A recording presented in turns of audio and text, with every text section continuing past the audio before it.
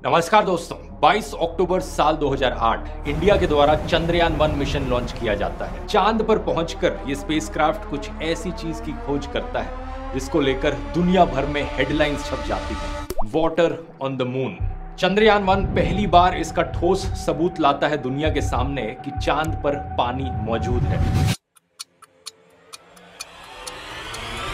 Specifically कहा जाए तो चाँद के साउथ पोल के एरिया में मौजूद है। इस खबर को देखकर दुनिया भर के देशों में चाँद को एक्सप्लोर करने का क्रेज फिर से जाग उठता है। अमेरिका और चाइना के द्वारा रेगुलरली मून पर मिशन भेजे जाते हैं। इसराइल कोशिश करता है चाँद पर सॉफ्ट लैंडिंग करने की। इसके अलावा जापान, यूरोप और रशिया के द्वारा भी कई लूनर मिशन प्लान किए जाते हैं। लेकिन आज दुनिया की नज़र है इंडिया के चंद्रयान थ्री मिशन पर। आखिर कौन सी नई खोज चंद्रयान थ्री का मिशन करेगा? और चंद्रयान टू का मिशन क्यों फेल हो गया था? आइए जानते हैं आज के इस वीडियो में India is on its way back to the moon. The historic mission to the moon and the launch of India's Chandrayaan 3 spacecraft. India is literally shooting for the moon. Chandrayaan 3 mission aims to touch down on the moon's largely unexplored south pole.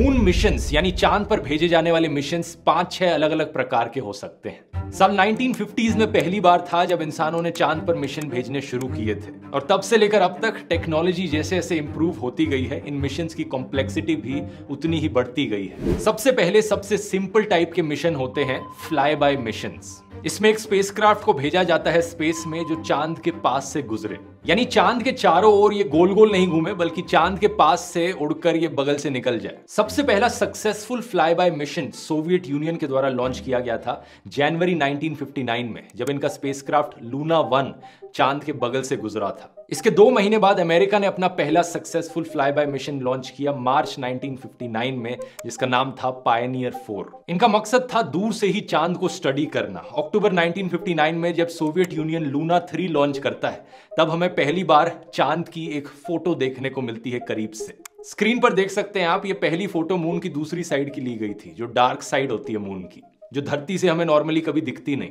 आज के दिन fly bye mission तभी किए जाते हैं जब किसी और मिशन के रास्ते में चाँद दिख रहा। हो लेकिन चाँद को ही अगर स्पेशली जांचना है तो आती है अगली कैटेगरी मिशन की, जिन्हें ऑर्बिटर मिशन बुलाया जाता है। इसमें स्पेसक्राफ्ट चाँद के पास आकर चाँद के ऑर्बिट में गोल गोल चक्कर लगाते हैं। इसे लूनर ऑर्बिट कहा जाता है, और यहाँ से ये चाँद के सरफेस और एटमॉस्फेयर को स्टडी करते हैं। टिल डेट 40 से ज़्यादा सक्सेसफुल ऑर्बिटर मिशन हो चुके हैं और आज के दिन तक ये मोस्ट कॉमन मून मिशन का टाइप है। सबसे पहला सक्सेसफुल ऑर्बिटर मिशन किया गया था एक बार फिर से सोवियत यूनियन के द्वारा लूना 10 साल 1966 में। इसके बाद आती है अगली कैटेगरी इम्पैक्ट मिशन की। ये मिशन ऑर्बिटर मिशन का ही एक एक्सटेंशन होते हैं। यहाँ मेन स्पेसक्राफ्ट चाँद के राउंड ऑर्बिट करते रहता है, लेकिन उस स्पेसक्राफ्ट से एक हिस्सा डिटैच होकर चाँद पर जाकर क्रैश लैंड करता है। क्योंकि क्रैश लैंडिंग के वक्त ये मून से इम्पैक्ट कर रहा है, इसलिए इन मिशन को इम्पैक्ट मिशन बुलाया जाता है। आप पूछोगे, ये क्रैश लैंड कराने का क्या तुक बना? इसका जवाब बड़ा सिंपल है क्रैश लैंडिंग करने तक का जो समय है, जब वो चाँद के करीब करीब आए जा रहा है, उसी समय में काफ़ी सारी इंस्ट्रूमेंट की रीडिंग्स ली जा सकती हैं। इसलिए इम्पैक्ट मिशन भी काफ़ी यूजफुल होते हैं। चंद्रयान वन हमारा एक इम्पैक्ट मिशन था। जो हिस्सा स्पेसक्राफ्ट का अलग होकर चाँद पर जाकर क्रैश लैंडिंग करता है, उसे मून इम्पैक्ट प्रोब कहा जाता है। चंद्रयान वन के मून इंपैक्ट प्रोब में एक इंस्ट्रूमेंट लगा था, Chandra's altitudinal composition explorer short में इसे चेस कहा जाता था। ये एक मास स्पेक्ट्रोमीटर था जो हर चार सेकंड में रीडिंग्स लेता रहता था जैसे जैसे ये चाँद के करीब आ रहा था क्रैश लैंड करने के लिए। और इसी इंस्ट्रूमेंट की मदद से हमें पता चला कि चाँद की एटमॉस्फेयर में पानी मौजूद है। ये मून इम्पैक्ट प्रोब क्रैश करता है शैकल्टन क्रेटर पर जाकर। चाँद पर ये क्रेटर है जो चुना गया था और जो पॉइंट ऑफ़ इम्पैक्ट है, उसे नाम दिया गया जवाहर पॉइंट चंद्रयान वन में एक ऑर्बिटर भी था जो अपना ऑर्बिटर मिशन अलग से कर रहा था। ऑब्वियसली ऑर्बिटर के बिना मून इम्पैक्ट प्रोब लॉन्च भी नहीं किया जा सकता। इस ऑर्बिटर में नासा का एक इंस्ट्रूमेंट लगा हुआ था। मून मिनरोलॉजी मैपर M3 जब मून इंपैक्ट प्रोब जाकर क्रैश लैंड किया चाँद पर तो चाँद पर मौजूद कुछ मिट्टी हवा में उड़ी। उस मिट्टी को, उस लूनार सॉइल को एनालाइज किया इस इंस्ट्रूमेंट ने। और इसी एनालिसिस के बाद कंफर्म हुआ कि चाँद की मिट्टी में भी पानी मौजूद है। चौथी कैटेगरी आती है मून मिशन की लैंडर मिशन यहाँ पर स्पेसक्राफ्ट के एक हिस्से को चाँद पर भेजा जाता है सॉफ्ट लैंडिंग करने के लिए। क्रैश नहीं करना, आराम से उतारना है ताकि चाँद पर लैंड कर सके कोई हिस्सा स्पेसक्राफ्ट का। जो हिस्सा लैंड करता है, उसे यूजुअली लैंडर कहा जाता है। ये करना बहुत बहुत कॉम्प्लिकेटेड चीज़ है। और जब अमेरिका और सोवियत यूनियन ने पहली बार ट्राई करी ये करने की तो पहले 15 अटेम्प्ट्स में वो फेल रहे। 15 अटेम्प्ट्स मायने रखता है। साल 1966 में पहला सक्सेसफुल अटेम्प्ट किया जाता है एक बार फिर से सोवियत यूनियन के द्वारा, इनके लूना नाइन मिशन के द्वारा। दुनिया की पहली सक्सेसफुल लैंडिंग थी ये मून पर, और इसी स्पेसक्राफ्ट ने पहली फ़ोटो भी खींची चाँद के सरफेस की। ये फ़ोटो कुछ ऐसी दिखती है। ज़्यादा हाई क्वालिटी फ़ोटो एक्सपेक्ट मत करो, ये 1966 की बात है। वैसे स्पेस के वीडियोस देखकर दोस्तों, अगर आपको इंटरेस्ट आता है इसी फ़ील्ड में अपना करियर बनाने में एरोस्पेस और रॉकेट साइंस लेकिन आप जानते नहीं कि एग्जैक्टली ये कैसे किया जाए। क्या इंडिया में पढ़ाई की जाए या अब्रॉड को यूनिवर्सिटी ढूंढी जाए? कौन सी यूनिवर्सिटीज और कॉलेजेस सबसे ज़्यादा सूटेबल रहेंगे?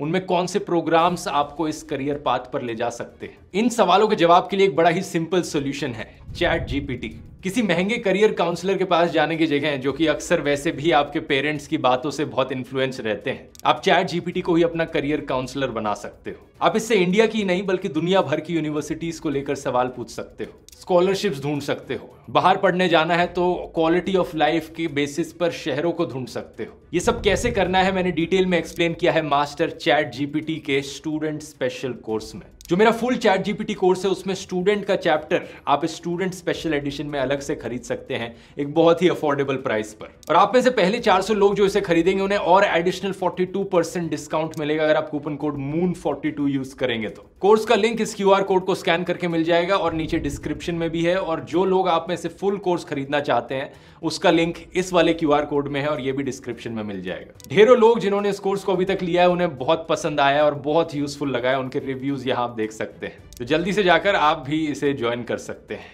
अब टॉपिक पर वापस आते हैं। आमतौर पर ये जो लैंडर्स होते हैं, ये काफ़ी बल्कि होते हैं, बहुत ही हैवी और बड़े बड़े होते हैं। तो ये चाँद पर लैंड करके बस रुक जाते हैं वहीं पर। हिलते नहीं उसके बाद। अगर वहाँ चाँद के ऊपर जाकर हिलना है मूव करना है तो इस प्रॉब्लम को सॉल्व करने के लिए अगली कैटेगरी आती है मून मिशन की, जो की है रोवर मिशन रोवर्स ये छोटे से रोबोट्स होते हैं, जिन पर पहिए लगे होते हैं, ताकि ये लैंडर से बाहर निकलकर सरफेस पर मूव कर पाए। रोवर्स की मदद से डायरेक्ट कॉन्टैक्ट बनाया जा सकता है चाँद के सरफेस पर। पहला सक्सेसफुल रोवर चाँद पर भेजा गया था नवंबर 1970 में। और गैस कर सकते हो कौन सा देश था यहाँ पर? एक बार फिर से सोवियत यूनियन इसके बाद आखिरी कैटेगरी होती है मून मिशन की ह्यूमन मिशन जहाँ पर इंसानों को लैंडर में बिठाकर चाँद पर उतारा जाता है और रोवर की जगह इंसान अपने पैरों का इस्तेमाल करके चाँद की ज़मीन पर कदम रखते हैं। ये एक ऐसी चीज़ थी जो अमेरिका ने सोवियत यूनियन से पहले कर ली। 1969 में जब नील आर्मस्ट्रॉन्ग ने पहली बार चाँद पर कदम रखा। नासा के द्वारा आखिरी ह्यूमन मून मिशन भेजा गया था साल 1972 में। तो तब से लेकर अब तक किसी ने चाँद पर कदम नहीं रखा है और इन टोटल सिर्फ़ 12 लोगों ने ही चाँद की ज़मीन पर कदम रखा है। ये सारे लोग नासा के थे। एक सवाल आपके मन में यहाँ पर आएगा कि पहला रोवर मिशन पहले ह्यूमन मिशन के बाद किया गया? ऐसे कैसे? ऐसा इसलिए क्योंकि एक ह्यूमन मिशन के लिए एक सॉफ्ट लैंडिंग करानी काफ़ी थी। लेकिन रोवर मिशन के लिए नई टेक्नोलॉजी की ज़रूरत थी, जिससे एक रोवर को डेवलप किया जा सके। और ये नील आर्मस्ट्रॉन्ग के कदम रखने के एक साल बाद ही हो पाया। चंद्रयान टू का मिशन यहाँ पर एक रोवर मिशन के तौर पर प्लान किया गया था। अगर वो मिशन एज पर प्लान जाता तो विक्रम लैंडर को चाँद पर सॉफ्ट लैंडिंग करनी थी। और उसके अंदर प्रज्ञान नाम का एक रोवर होता जो चाँद पर उतरता। लेकिन अनफॉर्चुनेटली ऐसा हुआ नहीं। लेकिन 6 सितंबर 2019 चंद्रयान 2 का विक्रम लैंडर जब उतर रहा था सॉफ्ट लैंडिंग की तैयारी कर रहा था, वो अचानक से जाकर क्रैश लैंड कर जाता है। नवंबर 2019 में निकली फेलियर कमेटी रिपोर्ट के मुताबिक ये एक्सीडेंट एक सॉफ्टवेयर ग्लिच की वजह से हुआ था।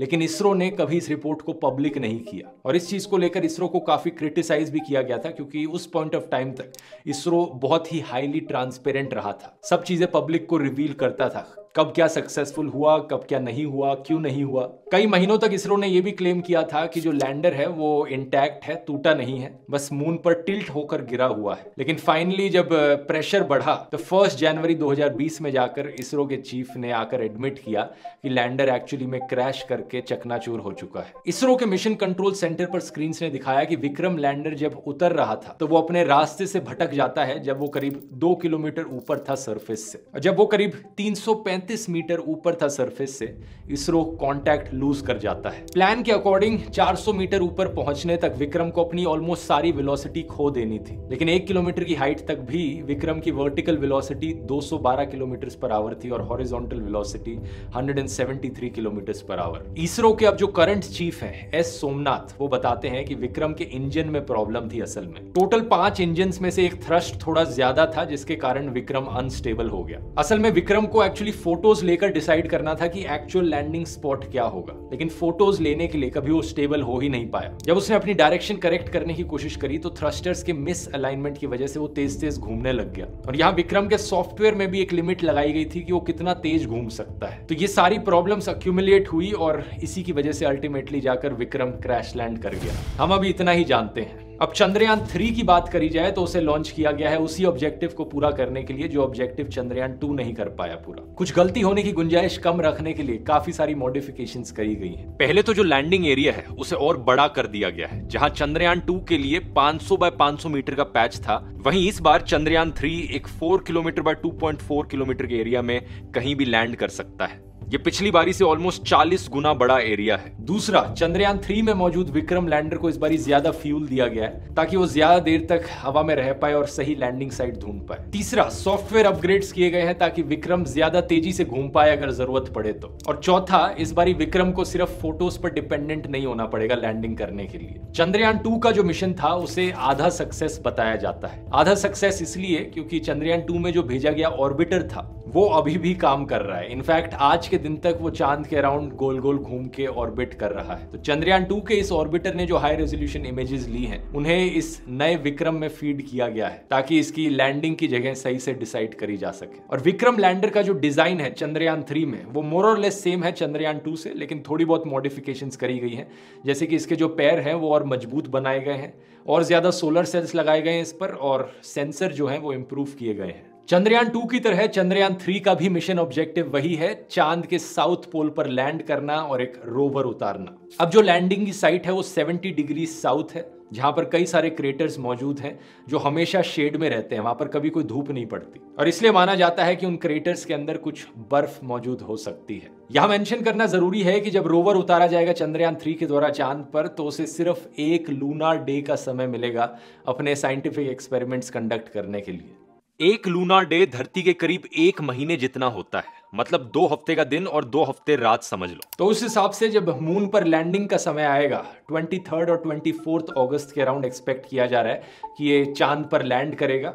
और तब से सिर्फ़ चौदह दिन का ही समय मिलेगा रोवर को सारी इंफॉर्मेशन लेने के लिए। क्योंकि चंद्रयान थ्री में मौजूद जो इंस्ट्रूमेंट्स हैं, वो लूनार नाइट्स के लिए नहीं बने। जब चाँद पर रात होती है तो टेम्परेचर बहुत बहुत नीचे गिर जाता है। माइनस टू डिग्री सेल्सियस तक टेम्परेचर नीचे जा सकता है। तो इतनी ठंड में कोई इंस्ट्रूमेंट्स काम नहीं करेंगे। इसलिए हमारे इसरो के चीफ ने भी कहा है कि हम चाहते हैं कि इसकी लैंडिंग तब हो जब चाँद पर सूरज निकल रहा हो। तब से लेकर हमें फिर 14 से 15 दिन का समय मिलेगा काम करने के लिए। और अगर लैंडिंग 23-24 अगस्त के राउंड नहीं हो पाई तो हम एक और महीना वेट करेंगे और इसे सितंबर में लैंड करवाएँगे। इंस्ट्रूमेंट्स की बात करी जाए तो विक्रम लैंडर का वज़न है करीब 1750 किलो और रोवर का वज़न है करीब 26 किलो। रोवर का नाम एक बार फिर से प्रज्ञान ही रखा गया है। टोटल में तीन मॉड्यूल्स लगे हैं चंद्रयान थ्री में, एक लैंडर मॉड्यूल एक रोवर मॉड्यूल और एक प्रोपल्शन मॉड्यूल लैंडर और रोवर का मकसद तो आप जानते ही हैं प्रोपल्शन मॉड्यूल का यहाँ पर मकसद है चंद्रयान को धरती के ऑर्बिट से बाहर निकालना और चाँद की तरफ़ भेजना. इस प्रोपल्शन मॉड्यूल की मदद से ही ये लैंडर और रोवर पहले चाँद के ऑर्बिट में आएँगे और जब ये सौ किलोमीटर के रेडियस में आ गए, तब उन्हें लैंडिंग के लिए उतारा जाएगा. इस मिशन में कोई ऑर्बिटर मॉड्यूल नहीं है, क्योंकि चंद्रयान टू का ऑर्बिटर अभी भी काम कर रहा है और उसे ही दोबारा से यूज़ किया जाएगा। लेकिन प्रोपल्शन मॉड्यूल जो है, वो भी चाँद के अराउंड तीन से छह महीने तक चक्कर गोल गोल लगाते रहेगा, मून के ऑर्बिट में ही रहेगा। उसका भी यहाँ पर इस्तेमाल किया जाएगा कम्युनिकेशन पर्पसेस के लिए और बाकी और रीडिंग्स लेने के लिए। इस प्रोपल्शन मॉड्यूल में एक इंस्ट्रूमेंट लगा है spectropolarimetry of habitable planet Earth इसका शॉर्ट फॉर्म शेप ये छोटे छोटे एक्सो की खोज करेगा स्पेस में। विक्रम लैंडर और प्रज्ञान रोवर पर लगे हुए इंस्ट्रूमेंट्स की बात करी जाए तो वो भी बड़े इंटरेस्टिंग है। प्रज्ञान पर दो इंस्ट्रूमेंट्स लगे हैं एलआईबीएस और ए का फुल फॉर्म है लेजर इंड्यूस्ड ब्रेकडाउन स्पेक्ट्रोस्कोप ये चाँद की मिट्टी का केमिकल कॉम्पोजिशन एनालाइज करेगा कि कौन कौन से मिनरल्स चाँद की मिट्टी में पाए जाते हैं। और दूसरा एपीएक्सएस का फुल फॉर्म है alpha particle X ray spectrometer ये चाँद पर मौजूद पत्थरों के लिए यही करेगा। जब प्रज्ञान ये काम करेगा तो विक्रम लैंडर उसकी कुछ फ़ोटोज़ भी खींच रहा होगा और ये फ़ोटोज़ हमें जल्द ही देखने को मिल सकती है। अगर सब कुछ सही जाता है प्लान के अकॉर्डिंग जाता है तो जो कि मैं उम्मीद करता हूँ सब कुछ सही जाए। विक्रम लैंडर पर खुद चार इंस्ट्रूमेंट्स लगे हुए हैं। पहला है रामबा जिसका फुल फॉर्म है radio anatomy of moon bound hyper sensitive ionosphere and atmosphere ये लेजर बीम के ज़रिए चाँद पर मौजूद कुछ छोटे मोटे पत्थरों को पिघलाने की कोशिश करेगा और जो गैस उससे रिलीज़ होगी उसे एनालाइज करेगा। दूसरा है ChaSTE. Full form Chandra surface thermophysical experiment ये थर्मल प्रॉपर्टीज़ मेजर करेगा कितना तापमान है साउथ पोल में मून के।